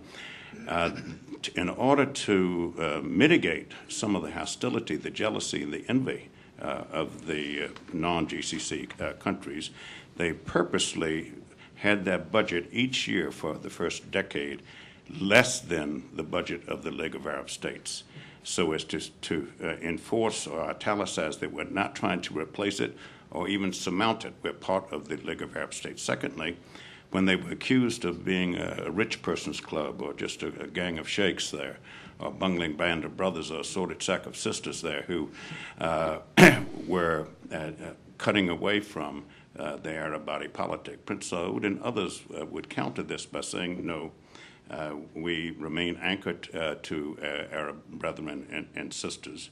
Uh, from the beginning, we're co founders of the League of Arab States.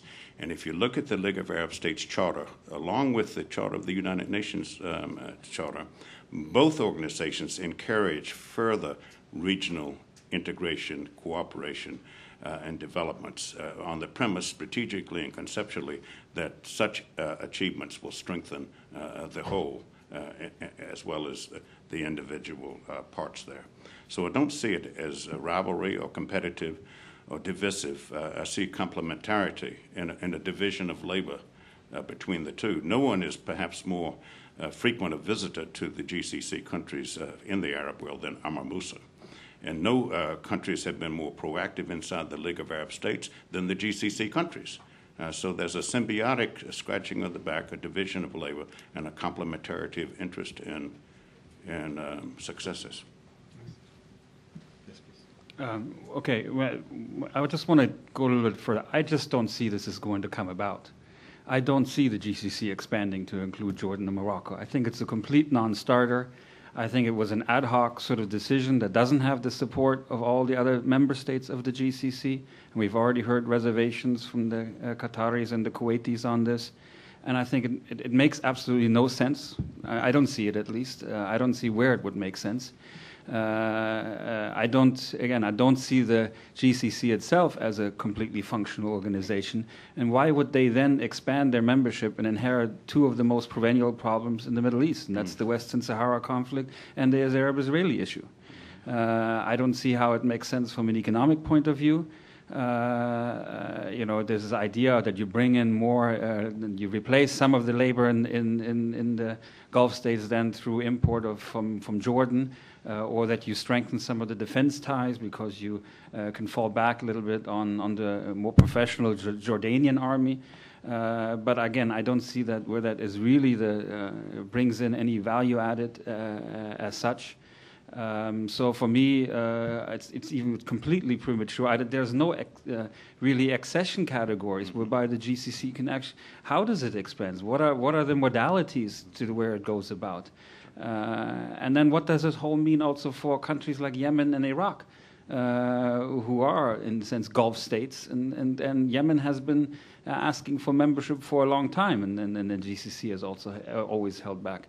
So I, I just I see this as a complete nonsense.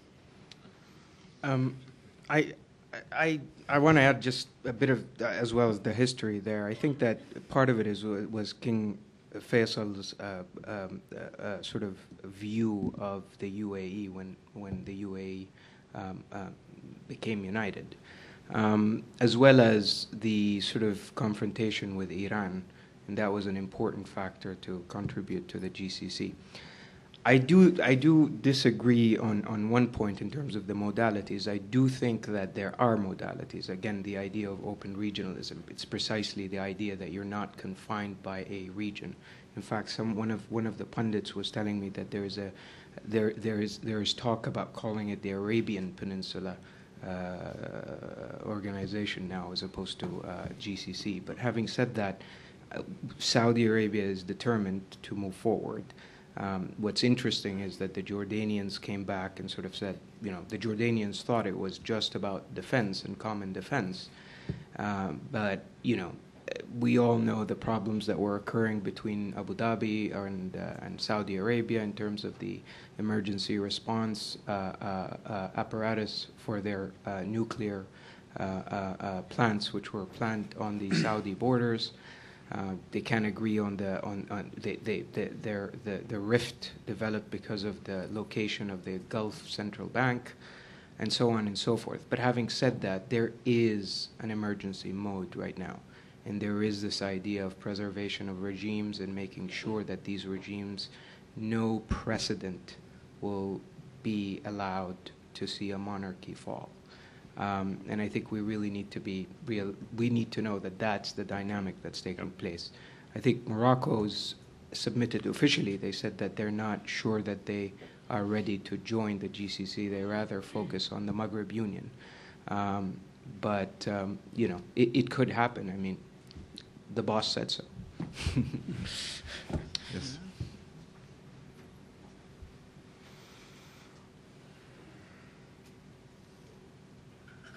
Thank you. Uh, I cannot resist but ask Martin a question since the president's here, and he's a water specialist. and I think in studying economic development in GCC, what is the role of water management, which is very important? Can we have a view from you?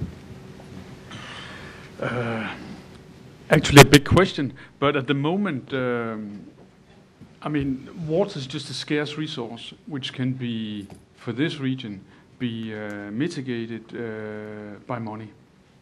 You know, desalination, and uh, I think it's the way they, they see it all over. Uh, that you know, if we have the money, if we have the gas or the oil to, to operate them, and properly and hopefully better technologies in the future, uh, water is not a problem. I mean, water is only a problem for agriculture. Uh, the price uh, of desalinated water is, is, not a problem uh, when you consider drinking water or other types of water, but uh, for agriculture it is. But I think, you know, everywhere I've been asking people about planning issues and so on, water is not one of them because it's a matter, it's something that can be solved by money energy, right? Yeah. it becomes an energy. Energy or money, yeah. I'll make a comment. Yes, um, I'll make a comment on that. Um, Kuwait and the UAE in particular uh, have those concerns, but two additional ones in terms of uh, the Iraqi nuclear plant, Iranian nuclear plant at Bushehr, being adjacent uh, to the, the Gulf. Uh, with the history of Iran's earthquakes, um, the scenario of some catastrophe affecting the Bushehr plant conjures up a scenario that no one would enter the Gulf uh, because of the hysteria, the fears uh, run amok.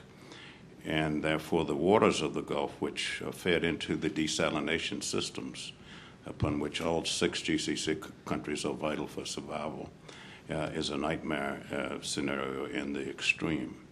Uh, so that's wrapped up with the sanctions. It's wrapped up with the Soviets who are the ones who finished the plant being also the inspectors of the plant, sort of putting in the fox with, with the chickens there. In the case of the UAE, um, it has to do with Iran's uh, annual military maneuver since 1993, in which they've shown a capacity to remain longer at sea without having to be resupplied, with advancing their special operations and underwater commando facilities, which would provide them access to the UAE's water desalination, electric power generating plants, as well as undersea valves, offshore oil operating uh, platforms. So there's a different aspect of the water, not just the domestic aspect, but the external aspect there, where something to happen catastrophic in Iran or elsewhere, where ships uh, would not come into the Hormuz Straits, or they'd only come in at a pro- prohibitively high expense in terms of the insurance that Lloyd's of London would demand they pay. Yes. Well, my question is for Christian. Uh, I think all economic cooperation has political implication. So my question is about China and GCC uh, free trade uh, area uh, establishments. Uh, now you know China is negotiating with GCC countries for its establishment of free trade area. So what is the possible political implication for this kind of FTA? Thank you. Um, well, I think there's been a, there's been a rush uh, uh, from the GCC sti- uh, side, uh, uh, not necessarily lately, but about three, four years ago, uh, about finishing off a number of free trade area agreements, which, however, in the end, only Singapore was the one that was actually concluded. there were negotiations not only with China, but with India, with Australia, a number of other countries. Uh, none of those have proceeded, uh, really. I think in the Indian case, uh, actually, not even a meeting has taken place in, in, in the last three years uh, on proceeding with uh, an FTA. now, there's, there was this you know, initial rush to try to formalize the kind of relationship because, I mean, okay, yes, from an economic standpoint, Asia is extremely important to the Gulf. and they want to formalize some of those relationships in the economic realm. Uh, but I think there's a clear distinction being made within the uh, GCC states about uh, the economic imperatives uh, uh, and the the more broader role that specific Asian countries might be able to play on the political strategic level. yes, I think there are views that say China can play an important political role as well because it is a member of the P5. Uh, it has uh, important ties to uh, parts of the region which are of strategic importance also for the Gulf, and here specifically the China Iran aspect to it. and therefore, that by, by establishing at least uh, a political relationship with China. Therefore, you can uh, uh, press more the Arab Gulf interests and, and hopefully also convince China to, to drop, drop some of its close relationships with Iran because of the concern that the Arab Gulf states have about Iran and specifically. Uh, but and I just don't see the FTA at the moment uh, moving forward, I think there's been a little bit of a reevaluation from the GCC side about the need for the, many of these formalized uh, FTAs. We, we see this in the case of the, uh, with the EU. The negotiations have basically have uh, been over more, for more than 20 years, and still there's no uh, actual FTA uh, in existence. And even here again, um, there is no negotiations have taken place now since the end of 2008. Mm-hmm. So concluding FTAs at the moment uh, uh, at the regional level on the GCC side, I don't see it as, as necessarily their priority uh, at the moment. Yeah, I, just very quickly, I totally agree on, on that assessment. I think that keep in mind that in the end of the day, the most important good that is being sold is, is oil, and that's not covered in most of these trade agreements. But it's the, on the, at the second level, it's petrochemicals. A country like Saudi Arabia, I think it was last year, officially, um, uh, China became officially the largest importer of oil uh, from Saudi Arabia, which shifted the dynamics even politically from, from U.S. Saudi relations. Um, the other point that you have to keep in mind is that everything is being done bilaterally today, including the infrastructure that is being built, for example, for this, this huge Saudi Aramco Dow chemical project, which is a $70 billion uh, uh, project for petrochemicals, and the main market is, is, is China. Um, so everything is done more bilaterally. I think the GCC is really not being seen as an economic or trade vehicle.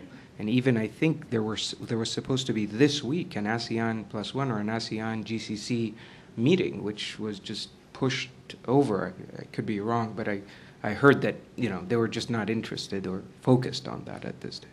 Yeah.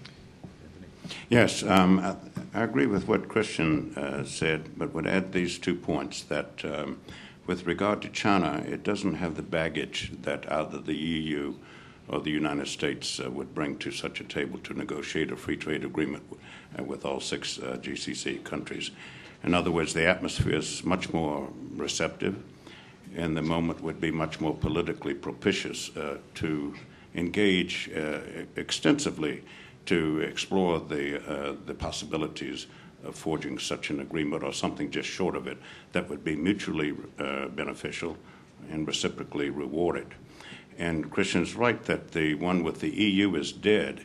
And yet that one had 21 years of investment of negotiation from 1987 when it began with the ministries of industry, economy, and finance of the GCC countries and the European countries, and it never came to um, fruition. A reason was the one that I outlined in terms of non interference in the domestic affairs of one another.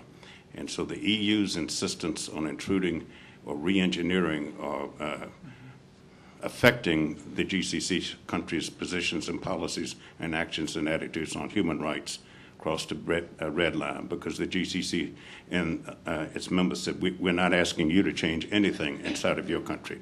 China is favorable in that regard. It is not interfering in the domestic affairs of any of the uh, GCC countries. With regard to the United States, there have never been any negotiations for this, uh, uh, not even one year. At most, there were bilateral uh, discussions between the private sectors of the GCC countries and the United States. But all of those ended in 2001 in September. There's not even been anything like that since. And if you want to enter any, any indication as to where they would likely go if they were revived, one need only recall four years ago when Dubai Ports World sought to invest in the United States Maritime Port Administration, where jingoism, racism, anti Arabism, anti Islamic uh, forces kicked in and killed it. Uh, and uh, there's no indication that that's likely to be reversed if you were to revisit it now, with some exceptions on the defense side can I just add? I think that's absolutely correct. I think that's an important point in terms of seeing the trajectory a little bit of relations with Asian states. Is that when you conclude deals with countries in Asia, you're not going to have the political baggage that comes along when you conclude deals either with the EU or the United States. And we see this specifically, I think, one of the reasons that the UAE has decided also to conclude its deal on nuclear technology with the South Koreans and not with the French or with the United States, as everybody thought it was going to go. Because, I mean, this is, uh, A, it's an absolutely critical deal for the UAE. Uh, they put a lot of emphasis on it. Uh, it's a lot of capital investment, and you're not going to put that much money into a deal that maybe, because political conditions change, uh, in, in, in the supplier nation five or ten years down the road uh, uh, might mean that the deal never comes to fruition. Uh, with South Korea, you are having a much safer bet because you don't have that political component. You're still getting basically Western top notch technology, uh, and it's coming at a cheaper price, so uh, it makes absolute sense. Okay, um, I've received a signal that we are due to stop soon. I don't know why, because I thought we are supposed to stop at 4 o'clock.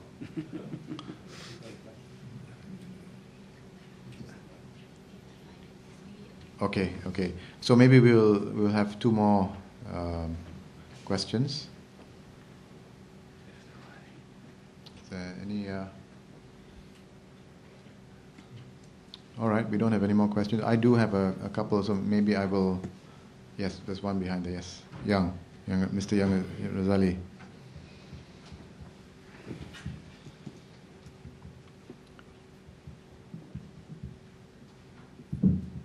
Sorry if I just throw in a question. I was not here earlier, so I missed some major parts of this discussion. Sorry, uh, this is Uh, Mr. Yang Razali from Rajaratnam School of International Yes. Studies. International Studies. Um, I just heard that uh, uh, the GCC is described as something not really uh, working as it should be. If I'm right in that, uh, in what I heard, can I just ask for the opinion of the panel? Uh, to what extent uh, can this uh, uh, vision, as expect, expressed by some, of a revival of the Silk Road of ancient times between the East and uh, the Arab world through the GCC. It is something that can be realized, uh, and, and especially now, given the realities on the ground. Is that something really achievable? I think I stop there. Yeah, can I just uh, um, ask the same question in a, in a different way? Um, uh, Dr. Dahlan was uh, talking about examples of experiments um, that uh, proven experiments um, that show regionalism works, um, and uh, Dr. Koch was, um, uh, you know, uh, talking about the um, you know the difficulties and and and, and giving ra- a rather you know negative, uh, I, I mean um, bleak uh, um, outlook for the possibility of regionalism working.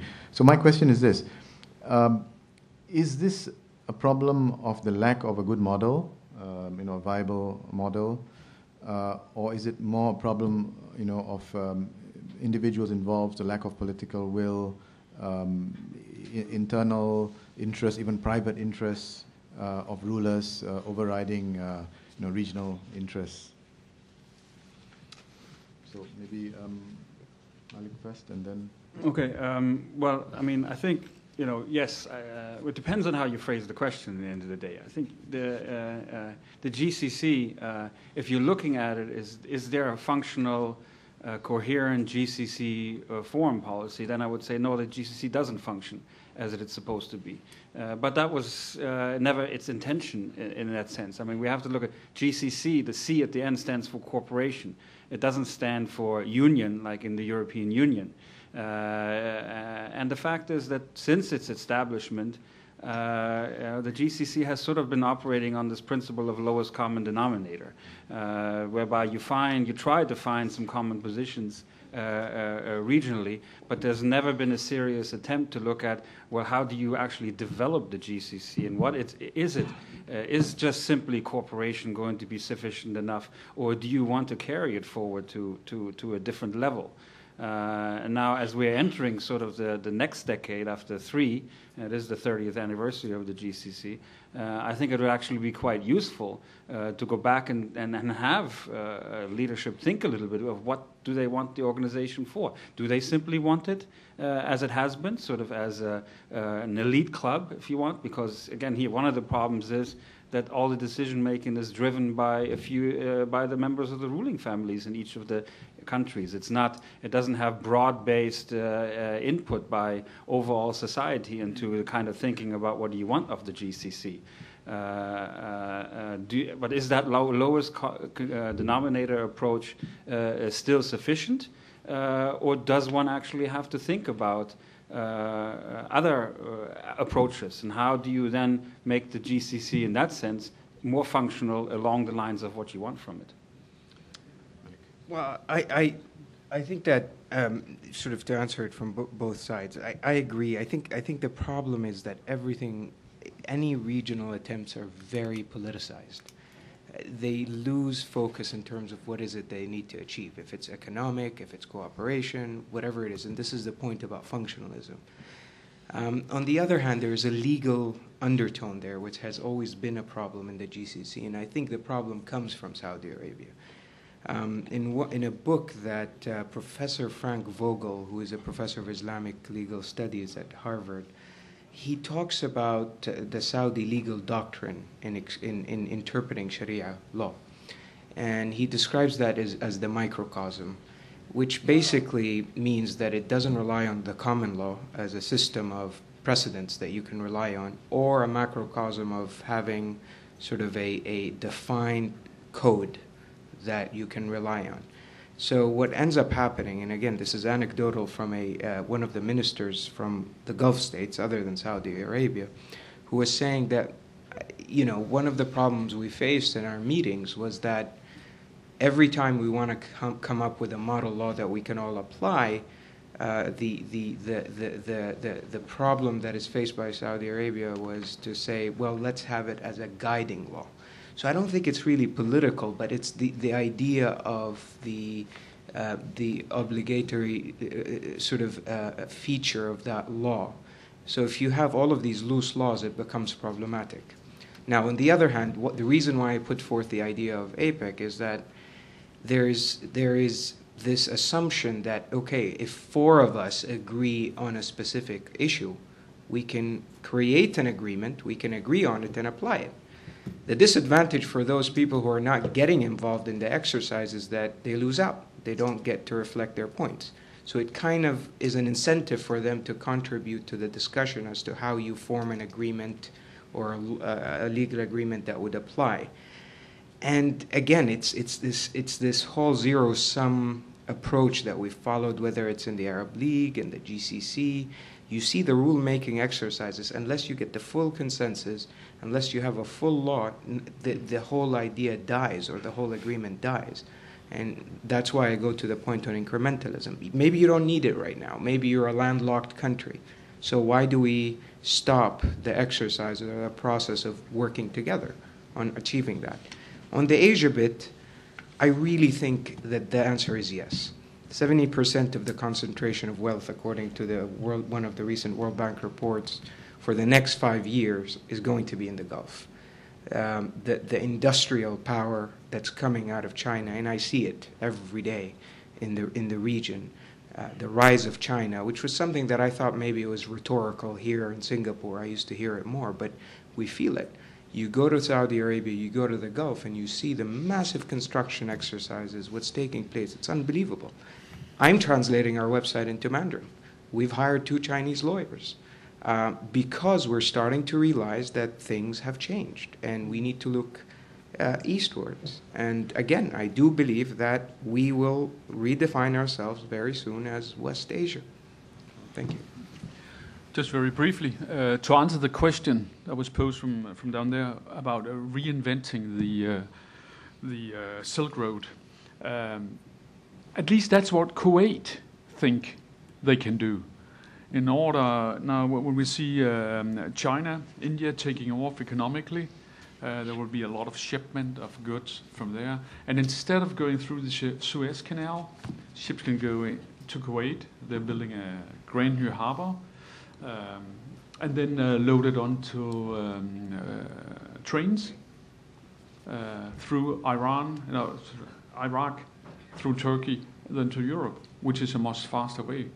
So uh, if uh, the situation in the, in the region is stabilized, then yeah, there might be some room for renewing the old Silk Road. Yeah, thank you. Um, of course, the um, the faster route is the by sea, the Indian Ocean route uh, taken by the Hadramis, uh, and that has proven itself. It's worked. So maybe we should revive that. Or Singapore Airlines. yeah, that's right. Yeah. Um, well, I, we have to uh, end now. Um, so we end on that note. Uh, I'd like to thank uh, all our speakers for their presentations and your participation.